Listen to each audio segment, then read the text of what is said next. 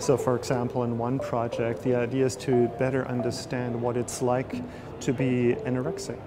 So another project is about coral reefs basically. And then when you see this environment being polluted by humans, you, you kind of take it personal. In the Parallel Minds project, the idea is really to give people an idea of what it's like to be schizophrenic.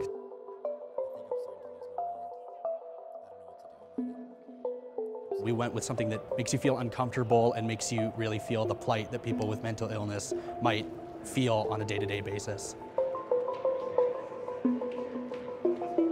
I see virtual reality as a great asset in terms of combating mental illness, not just a gaming tool, but as a tool maybe used by professionals in terms of a form of therapy.